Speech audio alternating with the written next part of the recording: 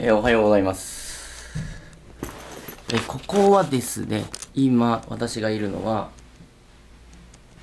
えっ、ー、と、カナーブ、カナブっていうですね、ところにある、ホテルですね、に宿泊します。昨日まで、ブライスキャニオン国立公園に、えー、滞在して、キャンプしながら撮影をしてまして、で、昨日の夜ですね、こちらの街に移動して、このホテルで宿泊したと。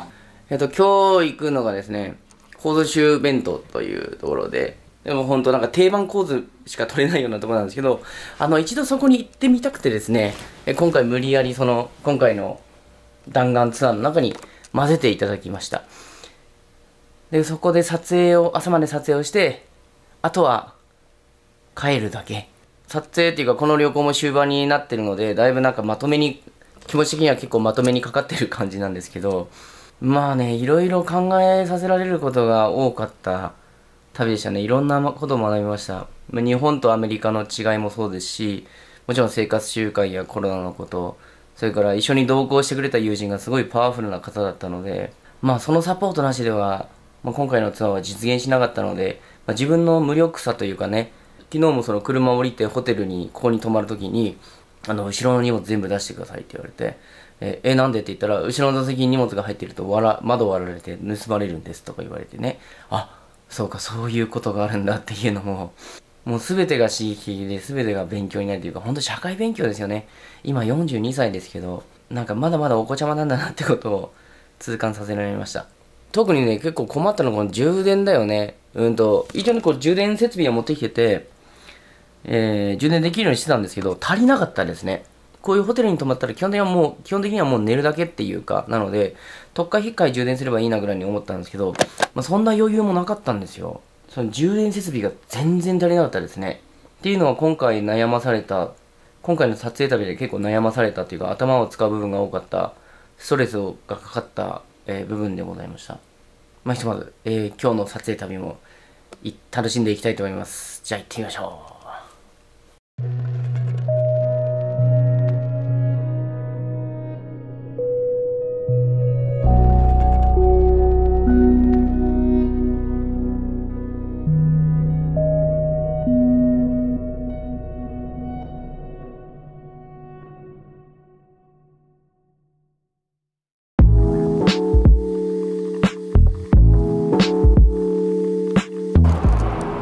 れから出発でございます。今日も暑いね。一歩外に出たらねこういう景色なんですよ。すごいよね。すごいよね。今日はねここのホテルでお世話になりました。昨日ここも車いっぱいあったんだけど夜来たんだけどね。車いっぱいあったんだけど今えっ、ー、と昼の11時ですね。ちょっとゆっくりめに出発してますけど疲れてるんですね。今日ね日曜日なんだよね。だからちょっと人が多いかもしれないですけど。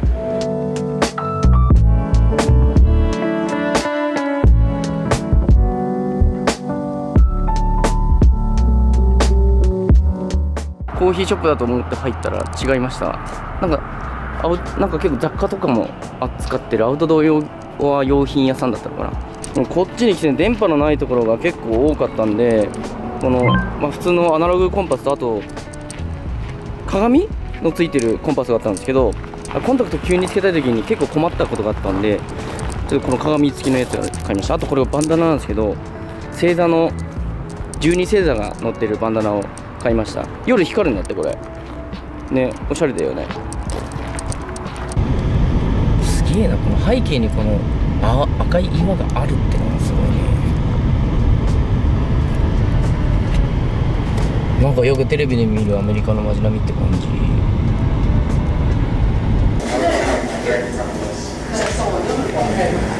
人いっぱいいるよ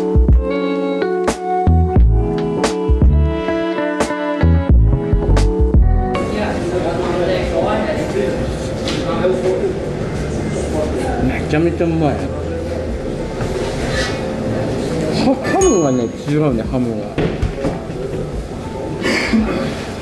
俺の知ってるハムじゃない。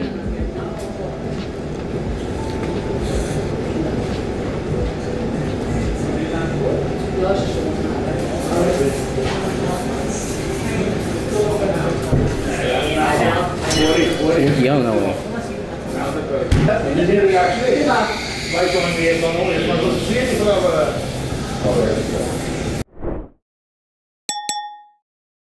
ホースシューベンドに向かう途中なんで、ちょっとここに立ち寄りました。フォードスツールトレイルヘッドっていう、うん、なんかフードっぽいなんか今かららしくて、えーこの先にあるんで行ってみたいと思います。なんかね、この、この光景、見て。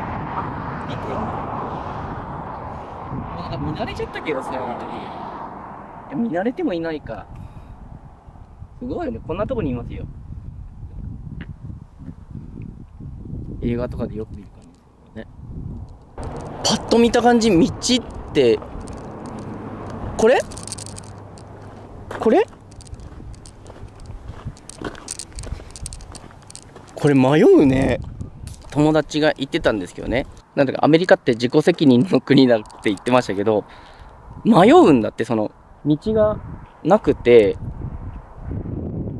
この間自分たちが行った国立公園とかは比較的そのアクセスがしやすいところなんだけど、こういうところに立ってるその、アーチズっていうその、なんか、えっ、と、アーチ状になってる岩のところとかは結構危ないらしくて、やっぱ本当なんか、夜撮影行くんだったらガイドさんとかちゃんとつけないと、あの、帰ってこれないって言ってたんですけど、なんか本当なんか道なき道をこう、いう感じで、今もうこれどこに行ったら、その、何、トレイルヘッドだっけ？そこに着くのかってもう分かんなくなって、今、聞いてきてくれてますね。どこ行ったらいいのって。こういうもんなんだね。これね。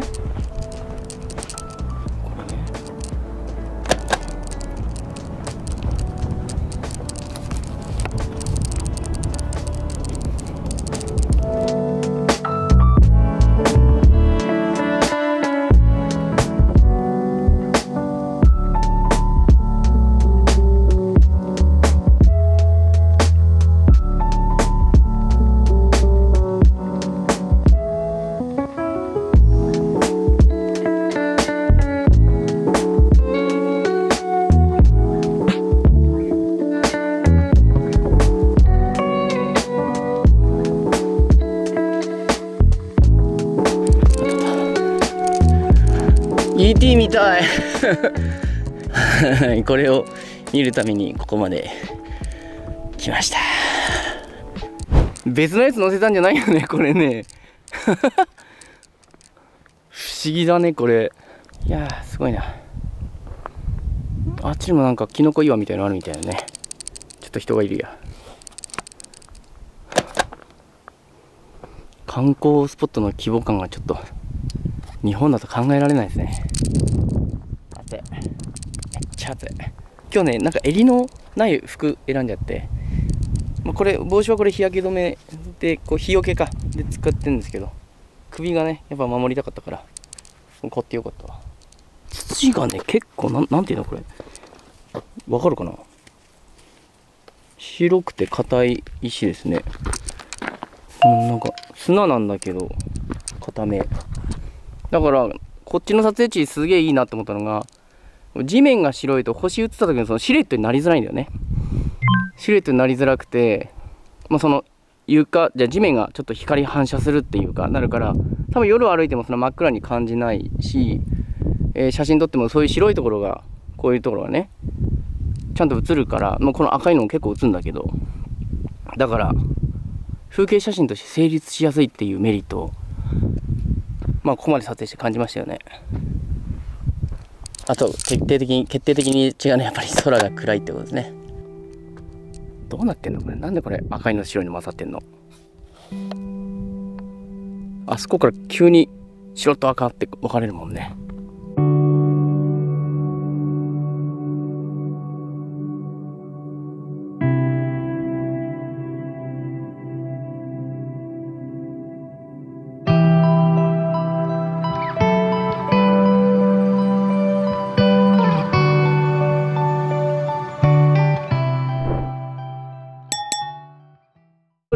入れっぱなしだったアリゾナに入りました。アリゾナアリゾナ。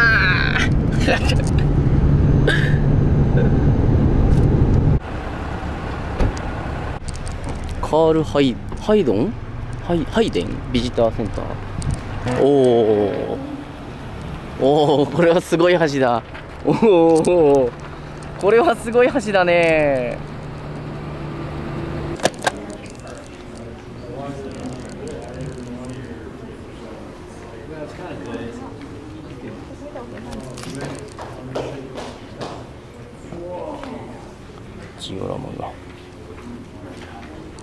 I know, I was just thinking that. Like, where-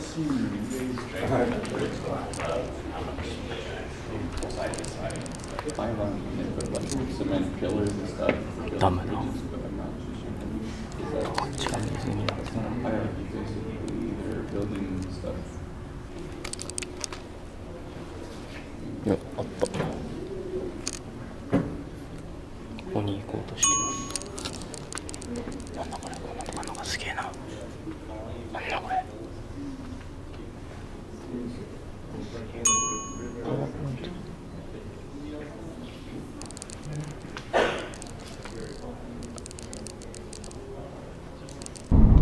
ビジターセンター出まして、えーこの後ホースシューベンドに向かうんですけどその前に、えーちょっと胃袋を満たしていこうと思います。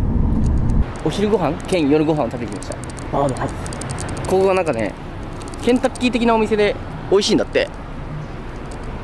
のお店の前にはこういうね鶏さんがもういますね。うわめっちゃいい匂いする。すげえ腹減った。ブルワリーってあれのこと？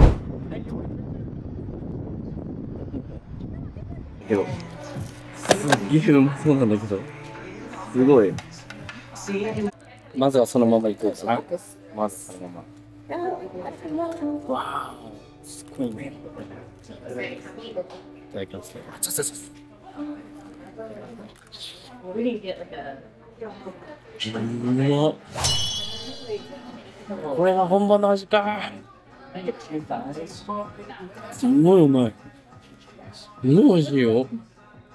皮が皮が皮が。皮が。パリーンって感じ。すんげえうまい。なんかブロッコリーこの野菜の大きさがいいね。こんなにたくさん食べれる。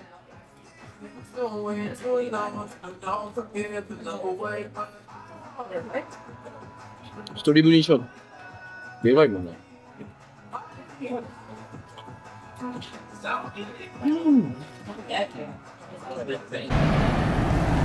サークル系ですよサークル系。サークル系。ファンクスのことだよねこれね。サークル系。ここで、えー、報酬弁当再撮影場所に行く前の最後の買い出しをします。